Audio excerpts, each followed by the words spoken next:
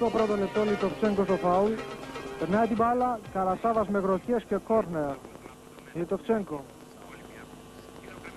Σοφιανόπουλος, Καρασάβας θα διώξει με γροθιές μπροστά από τον Τσαλουκίδη. Λιτοφτσέγκο με πολύ φάλσο, Προτάσοφ, Καρασάβας θα κόψει με τα πόδια, νέα κεφαλιά και γκολ. Από τον Γιώτη Τσαλουκίδη. Το 1-0 για τον Ολυμπιακό στο 24 έγινε πολύ ωραία το φάουλ, έκοψε ο Καρασάβας και ο Τσαλουκίδης στο 1-0.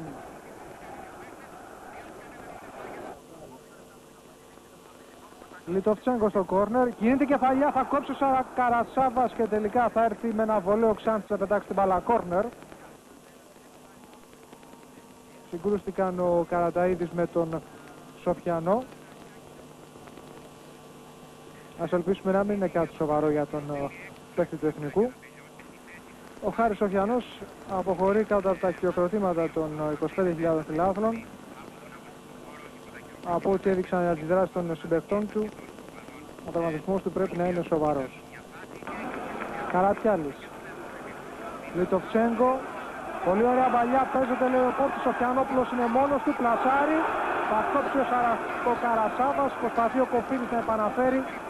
Θα πέσει κάτω και έχουμε φάουλ έξω από τη μεγάλη περιοχή του εθνικού. Για τον Κοφίδη που έχει κενό χώρο μπροστά του. Πέρασε η παλιά, παίζεται λέει ο επόπτης, ο Προτάσοφ, θα κόψει για ακόμα μια φορά ο Καρασάβας.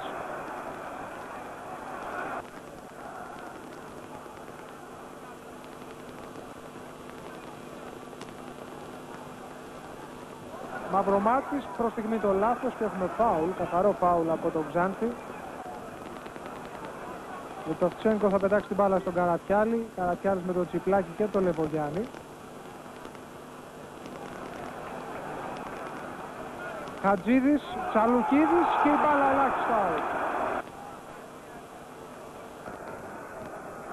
Πώς το πέντε λεπτό για το δεύτερο εμίχρονο; Προσπαθεί ο Βλάκος, σηκώνει ο Ο διετής όμως δεν ε, θα δώσει σημασία στον επόλκο, ο οποίος κάτι έχει υποδείξει και είναι το γκολ για τον Ολυμπιακό με τον Αναστόπουλο ακριβώς στο 25 του δεύτερου ημιχρόνου ενώ διαμαρτύρονται οι παίκτες του Εθνικού προς τον επόπτη και στον διετή.